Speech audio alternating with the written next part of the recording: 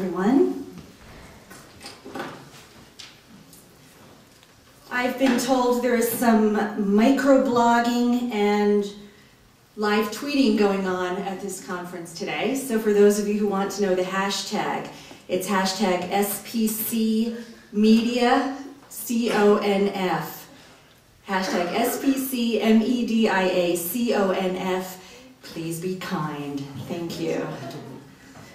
I love the theme of this conference because I always begin all my long-term projects with a discussion of how our current technology debates are really just another step in our long historical movement from face-to-face -face togetherness to experiencing togetherness with others across time and space. So my talk is called Time, Space, Technology, and Togetherness. And this, I think, is really the primary outcome of having so many communication technologies swirling around us at all times, really saturating our environment. They've allowed us to know of one another, of our thoughts and feelings about one another across great time and great distances, uh, from the time of cave drawings and etchings to writing and picture drawing, and later the mass production of all this with printing presses and computers and photography and cell phones. You know, we're now mediating between individuals stretching back from the beginning of recorded history to now.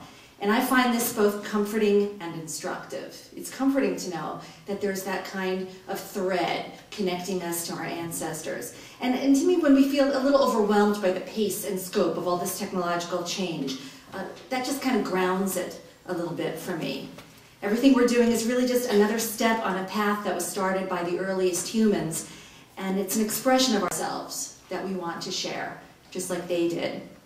Facebook has tapped into this most elegantly, right? I mean, they've most astutely tapped into the desire to share aspects of ourselves with one another on a convenient, easy to navigate platform, uh, very efficiently, constantly, but you know, really, is that so different from uh, sending a, a letter to one another years ago, or writing a book in first person, or an essay, or blogging now, or allowing cameras into your home to document everything you're doing around the clock and be shaped into a reality TV show.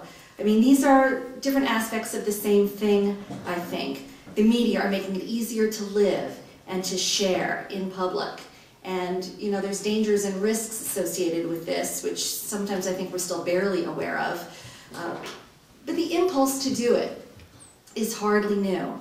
It's very, very old. And in fact, that's why doing all this has taken such hold of us. Um, it's so it's so prominent in the public imagination. Technologies and platforms and applications allowing us to share things with one another really easily, really widely, really efficiently.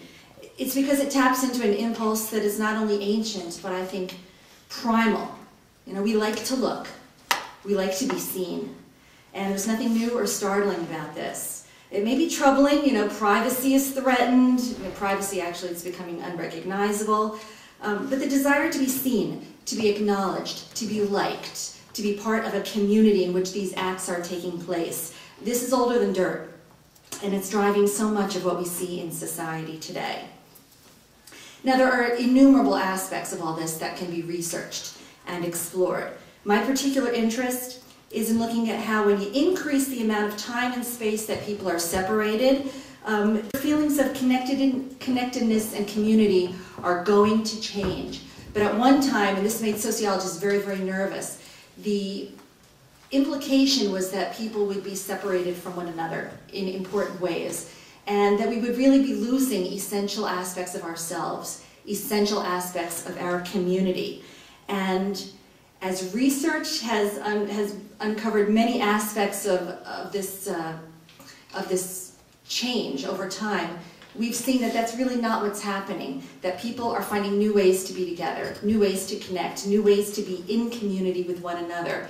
It's just that we do it portably now, and that's why the title of my book is called Portable Communities.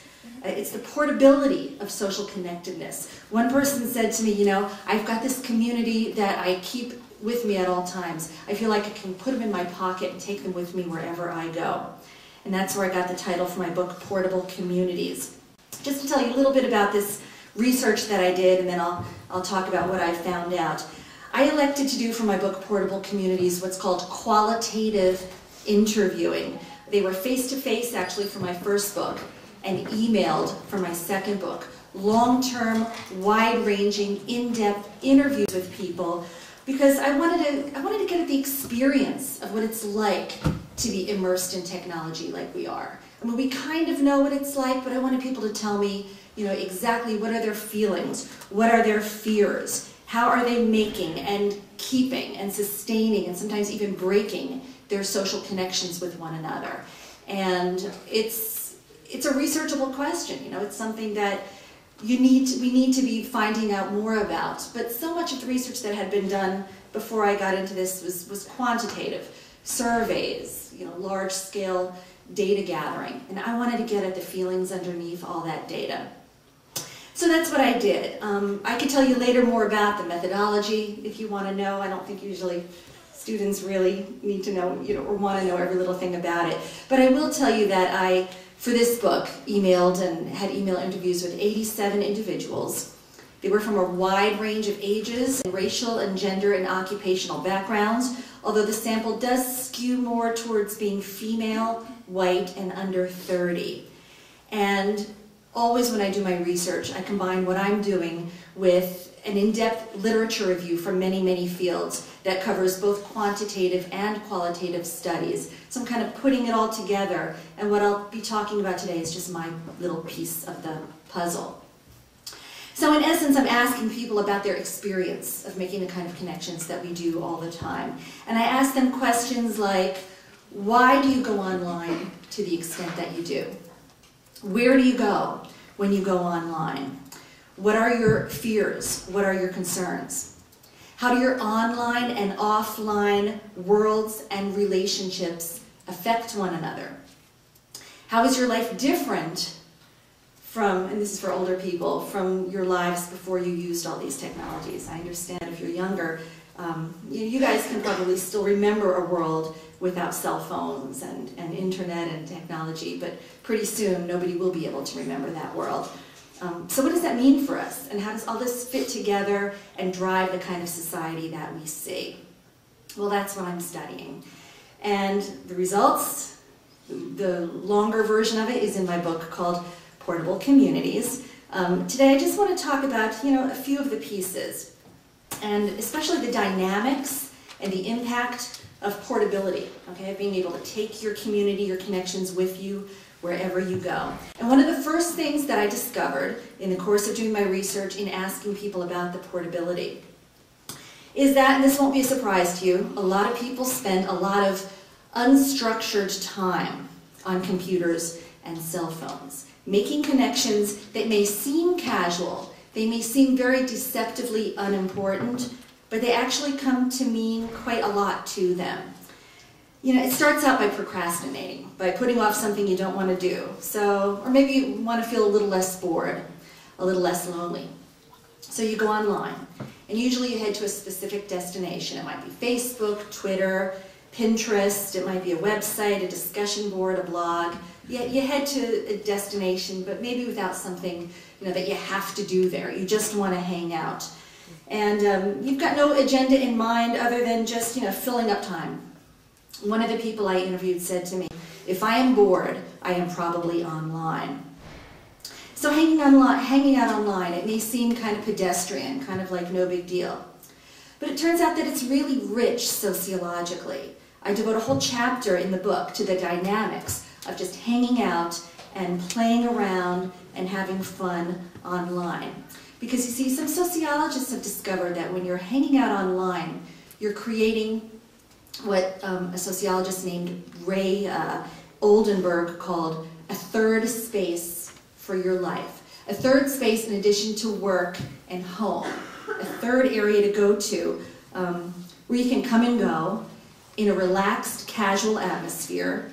Um, but more than you think, it really provides something important to your life. It really enlivens it. It really enriches it. And of course, the physical counterpart to this is uh, a coffee shop, a pub, a student center, a beauty shop, you know, a place where you can just go and hang out, where you can socialize, where you have minimal obligations, minimal entanglements, But because these can be approximated online now, because they're portable, someone is always there. They're always open. And because they're relaxed and because you don't have to contribute much, but you're just your presence, it's very enticing. And these places can become a source of surprisingly rich connections for us. As one person told me, I find that the internet is a place where I can unwind, where I don't have to think about work, where I don't have to think about my problems at home. I have freedom. I can go to a site of interest to me that has no connection with work or obligations whatsoever. I find myself chatting a lot with old friends, making new friends, maybe doing some shopping. And I'm so busy during the day that when I get home, all I want to do is relax by being online. And since we can do this now so easily, I mean, even with a cell phone that's in our pocket, we can almost turn any physical place into a mental hangout. We can leave the physical place with its obligations and we can just kind of zone out and hang out and yet make connections with a lot of other people. And so you can see why this has become such a popular thing to do, right? Because our modern lives are increasingly very busy. And when you hang out, you don't have to do much, like I said, but contribute your presence. So it's comfortable, it's inviting, it's constantly populated by friends, um, very little is required of you. And so, you know, these portable little websites become excellent hangouts. Turns out these hangouts are good for us, and they're even good for the health of a society because it makes you feel like you belong to something larger than yourself. It makes you feel like a sense of community around you that becomes very powerful. You feel plugged in, plugged into society, plugged in to one another. And again, this is one of those old primal instincts, right? As, as old as, you know, dirt, to want to be plugged in to the world around you. There's a social anthropologist named Kate Fox, and she says hanging out online can even kind of reestablish the tribal kinds of feelings that used to be so prominent during pre-industrial days.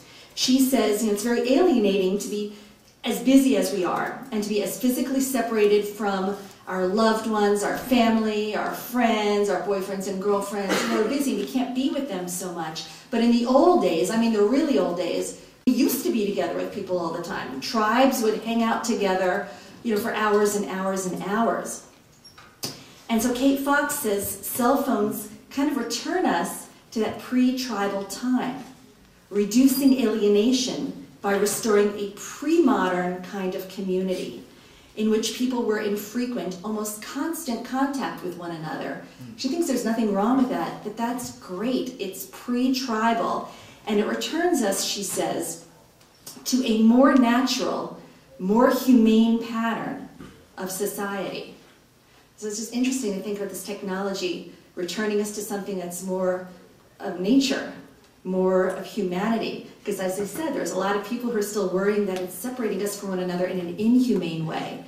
Um, but there's some theory out there and some research to back it up that it's making people feel more connected, not in a superficial way, but in a really critical, really important way for our well-being. So, you know, something more to hanging out than you would think.